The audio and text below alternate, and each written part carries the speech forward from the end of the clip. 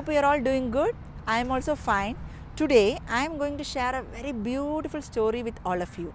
So let's start. The story goes like this. Long, long ago, there lived a very beautiful, intelligent girl named Niranjana. She was staying with her parents and her grandmother. You know, her parents were running a very successful business and they were mostly tied up with those activities. She was being taken care by this grandmother.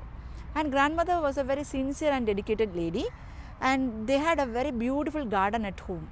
So Niranjana was so fond of gardening. You know, when she gets up in the morning, she the first thing she does is she goes and talks to her plants. And she was so curious to see the previous day sown seeds whether they have grown up into seedlings. So all those things gave her immense joy. And one more thing she noticed every day she sees grandma reading bhagavad gita. So she asked grandma why are you reading bhagavad gita every day what are the benefits you are getting? You know what grandma said? She said niranjana you should not copy anything from others. You should not imitate others you know. You just start reading and see what you are getting. Niranjana was so fond of grandma and so she started obeying grandma. She started reading. Days went by and you know what she realized? Nothing was entering into her head. She was not able to digest anything and sometimes she feels she understands but you know when she starts recollecting nothing was coming. So she shared this thing with grandma. Grandma said never give up keep on doing. Again she continued. The same thing happened. So she started complaining. So this time you know what grandma did? She went inside the kitchen and took an old coal basket and gave it to niranjana.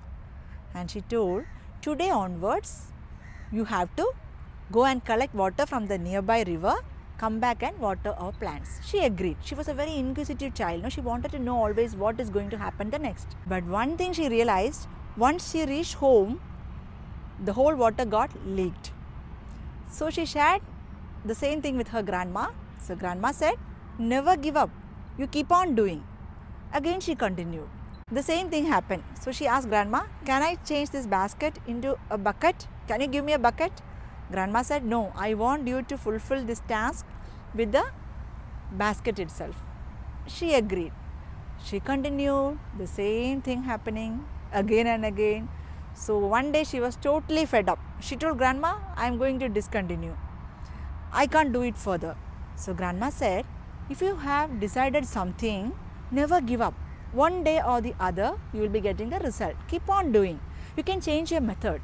Maybe you must be walking very slowly. You just increase your speed and run faster and see whether you are able to achieve it. She agreed. She ran faster. Again she came back. Once she reached home the same thing. The whole water got leaked. This time she decided she is going to discontinue. So she told grandma i can't do anymore I think I am wasting my time. This time I could have spent with my friends or with my plans or for my studies. So grandma told, you know what? Grandma shared a very beautiful secret with her. She asked her to have a closer look at the basket. That time, when she had a closer look, she was astonished. The old dirty coal basket has totally transformed into a very tiny, tidy one. So grandma said, see, this is what happening, you know. Without your knowledge, this basket has totally transformed.